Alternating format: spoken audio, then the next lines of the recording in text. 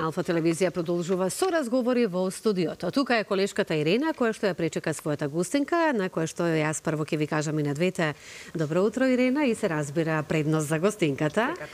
Никица Кусиникова, извршна директорка на Конект. Ке зборуваме за денови на донирање. Јас мислам дека секој ден треба тоа да се случува, меѓутоа вака ги подсетуваме и ги потикнуваме сите дека треба да донираат, а тоа да, да се направи од срце, нели е така? Така е. За убава тема ќе дискутираме утринава. Така, јас ке слушам, се разбира како и сите гледачи кои ова утро се заедно со нас Ирена Повели. Благодарам Слободанче, добро утро почитувани. Еве кажав како што слушнавте веќе и од наша Слободанка и од гостинката, ова утро ќе зборуваме за кампањата која што е во тек, насловена како Денови за донирање, која што официјално започна во петокот на 25 октомври на платото пред Истгейт со едно убаво свечено отворање и ке трае се уште еве еден извесен период, а малку повеќе околу тоа околу оваа кампања Деновите за донирање. Разговараме ова утро со нашата и ваша утринска гостинка Никица Кусеникова, извршна директорка на Конект. Никица, добро утро, еве вака официјално. Добро ни дојдовте во утринската програма. кажавме дека свеченото отворање веќе беше во петокот, од тогаш веќе трае кампањата, ова е втора година, денови за донирање, која што е впрочем и дел од проектот насловен како партнерство за донирање. Така. Како помина отворањето? Еве малку впечатоци од од отворањето од петокот. Ние не присуствувавме, ама еве може да споделите впечатоци. Да. Оваа кампања веќе втора година поред ја правиме со поддршка на проектот на USAID партнерство за донирање. А, и има за цел да биде еден празник на донирањето. Да овозможиме да секој во секојдневието ја искуси убавината на донирањето. Како значи да дадеш дел од себе, без оглед дали станува збор за пари, материјални добра, време преку волонтирањето и да направиш нешто добро за твојата заедница, таму каде што сите живееме и работиме. Отварањето помина во една многу убава, да кажам, празнична атмосфера. Годинава поттикнати, ние дол, долги години соработуваме со доброволните пожарникарски друштва. Меѓутоа, она што ни се случи летово со пожарите, ја направи со години, ние знаеме дека е тоа многу важно прашање, меѓутоа ја покажа итноста и ургентноста да сите се вклучиме во превенцијата и заштита од пожарите. Па годинава во рамки на кампањата по прв пат воспоставивме дел од цела, целта на кампањата е да воспоставиме еден фонд донаторски кој што ќе даде поддршка на доброволните пожарникарски друштва, кои што ги имаме околу 15 на во нашата држава, да тие го едуцираат населението, си обезбедат опрема што им е необходна, значи од сега да ја изградиме базата за не дај Боже кога ќе ни притреба идните години да тие се веќе спремни и да може да. не прават безбедни, да се чувствуваме безбедни и заштитени во нашите живеалишта, во нашите домови. Пожарникарите дојдоа на отварањето mm -hmm. и таму посетителите на на Изгейт и минувачите имаа можности да се фотографираат за символични донации, да се фотографираат со пожарникарите. И на некој начин преку отворањето и да ги да им оддадеме признание ним како наши херои. Да. Бидејќи на вистина тоа што го прават и го прават волонтерски, значи да. не се платени за тоа што го работат, а реално се со, соочуваат со големи е, опасности, така. дури и по живот. Меѓутоа тоа го прават несебично да дадат дел од себе. Дел од целта на кампањата е да сите дадеме од себе тоа што можеме за да поддржиме вакви иницијативи и вакви организации кои што на вистина прават суштински промени во нашите животи. Денови за донирање трае, ке трае колку време кампањата и она што и јас сакав да дознам пред да влеземе овде, како секој еден од нас може да се приклучи кон оваа кампања.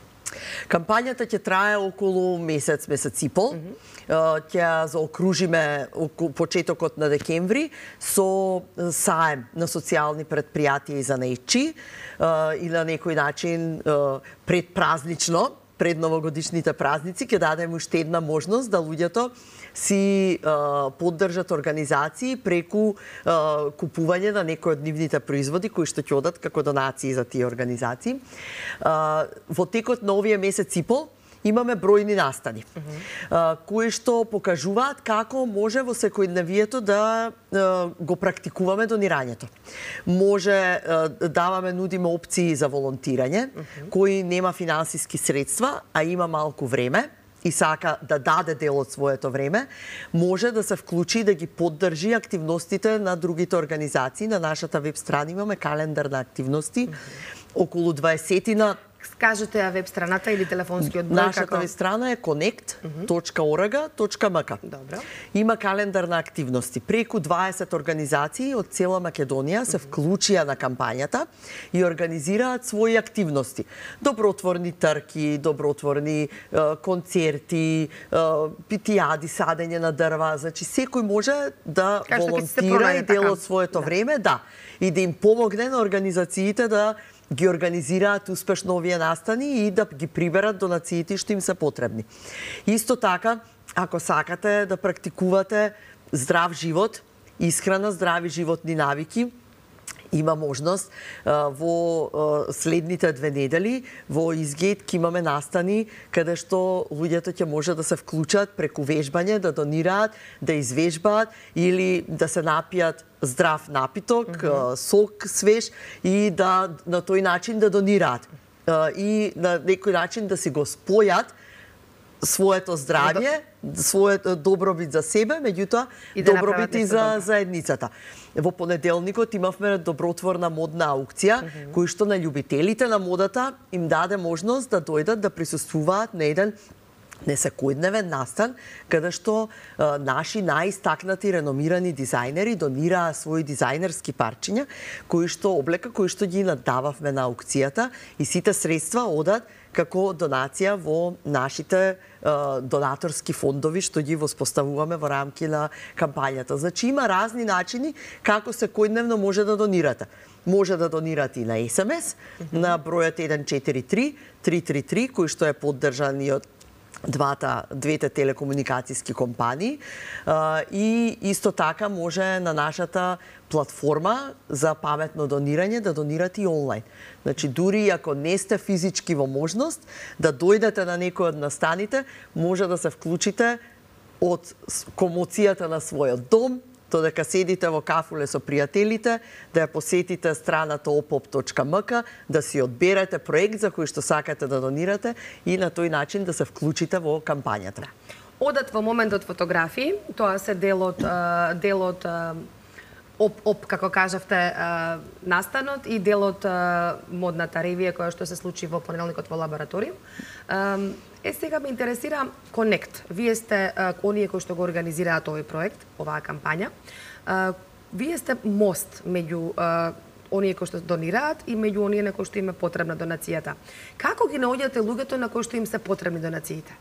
Дали тие треба да се обратат до вас или имате можеби еве вака преку да. некои своји информации, канали, не знам како. Еве, како може секој кој што има потребна од донација да да биде вклучен во да. кампањата. Да. Ние сакаме да ги поттикнеме и граѓаните и компаниите да донираат и да вложуваат во заедницата обмислено. Uh -huh. а, значи, без оглед колку средства имате на располагање, да си одлучите во која тема, во која област сакате таа донација да направи промена. Uh -huh За некои тоа се ранливи групи, лица со попреченост, лица од социјално загрозени групи. За некои е тоа животната средина, некој сака да ја поддржи културата. Че буквално да најдеме, да им дадеме опции на граѓаните, на компаниите, каде што може да си вложат и нивната донација да се здружи со другите донации да ја направи промената. Ние веруваме дека за тоа да го оствариме, најдобри партнери за граѓаните и за компаниите се граѓанските организации, здруженијата, фондациите кои што се посветиле не да работат за профит, туку да работат за да направат некоја позитивна промена во општеството. Многу од нив си ваши гости на утринските емисии, ја промовирате нивната работа и ви благодариме за тоа. ние во текот на нашите 16 години работа а, имаме голема база и мрежа на организации кои што ги следиме секојдневно. проверуваме дали се тие доверливи партнери mm -hmm. за да може да ги препорачаме на граѓаните и компаниите за донации, затоа што сакаме донирањето да биде позитивно искуство. Так. Ако вие донирате 100 денари, да знаете дека тие ќе завршат на вистинското место. Да. И затоа сме во можност нашите бази на организации имаат преку 200 организации кои што работат во најразлични области. Значи, кој да е заинтересиран за било која област, може да го поврзаме и да препорачаме организација која што ќе им биде добар, доверлив партнер.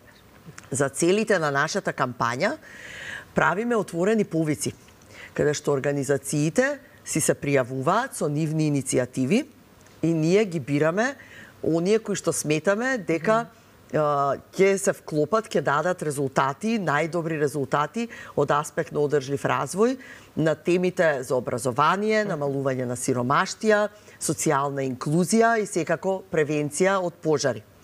Оваа година имаме четири одбрано четири организации, едни веќе ги спомнавме, Федерацијата на добротворни пожарникарски друштва.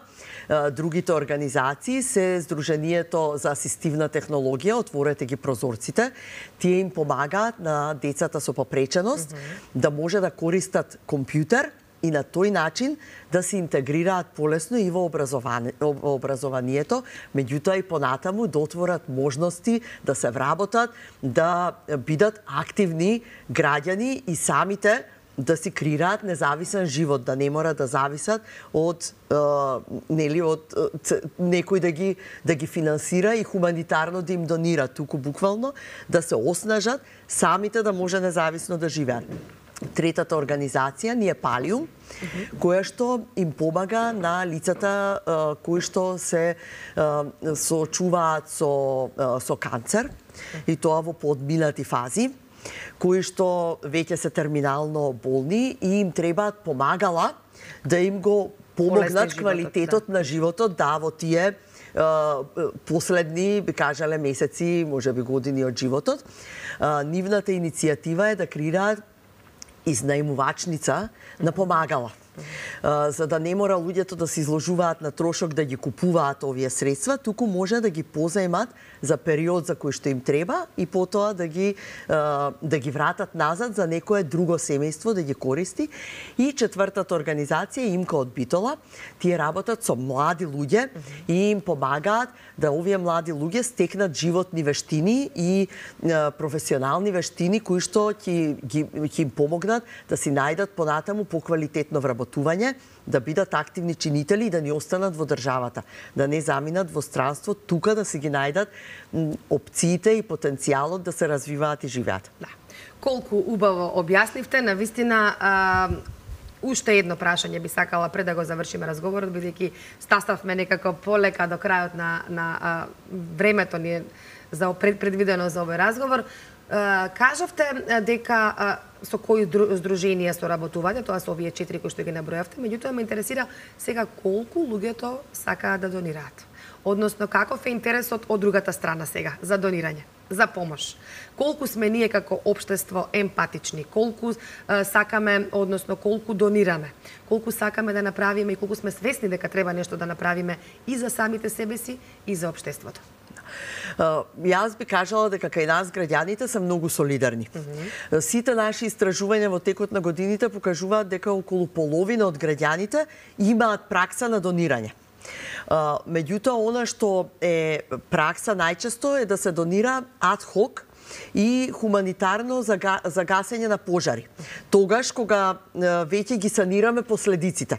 Она на што што ние го промовираме преку кампањата е да вложиме превенција, во така. превенција, така. да, и во изнаоѓање на долгорочни решенија, да така. луѓето ги извлечеме од сиромаштија, да превенираме да не дојде до одредени заболувања или да трајно помогнеме да некои проблеми се решат и тоа е процес. На луѓето донирањето им е при, природен импулс, не mm -hmm. само во наш во нашата држава, ми тоа е еден една универзална вредност. Сите ние чувствуваме дека сме дел од една поширока заедница mm -hmm. и сакаме да помогнеме некому кога е тоа потребно. Она што ние го правиме е да им креираме можности на луѓето да тоа го прават на забавен начин, на лесен начин, да може да донираат во своето секојдневие да бидат изложени на можности за донирање.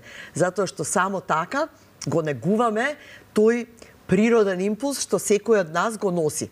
Некогаш треба да го раз, разбудиме, кај некој тој веќе разбуден и едноставно само се бараат вистинските можности, а некаде преку нашите активности го, го будиме тој импулс, затоа препорачувам следете не. Mm -hmm. Има многу забавни можности посетете ги нашите активности, посетете ја opop.mk и станете дел од едни позитивни промени во нашето општество. Да. Никица, голема благодарност ова утро што одвоивте, еве, овие 15 на 20 минути време да бидете заедно со нас и дел од Добро утро секој утро. убава енергија ни внесовте овде во студиото и еден апел вака, еден повик сите кои што можеме, кој колку може во својот така. домен да донира и да се вклучи да биде дел од оваа кампања која што трае се некаде до новогодишните празници, така некаде до месец декември, ние ќе ве следиме активно, ќе или ќе снимиме уште еден прилог или можеби ќе дојдете повторно кога ќе биде онаа завршна да. завршница на кампањата да кажете какви биле резултатите и како сето тоа помине. Благодарам уште еднаш. Сега ќе ве ослободиме да се вратите на вашето работно место и ви благодарам што постоите и што организирате навистина вакви акции, бидејќи како што кажавте, секој од нас и треба да донира и можеби некогаш ќе се најде во ситуација да има потреба од донација. Благодарам. Благодарам и вам на можноста да ја промовираме кампањата и да ги повикаме граѓаните да ни се придружат и на вам и на гледачите ви пожелувам убав ден. Благодарам во секое време. Благодарам и јас. Нема што да додадам, едноставно продолжете така да се работите, меѓутоа знам дека ние како македонци на вистина знаеме да помогнеме. Во многу ситуации тоа сме го докажале дека е така и да продолжиме понатаму. Ви така благодарам многу. Благодарам.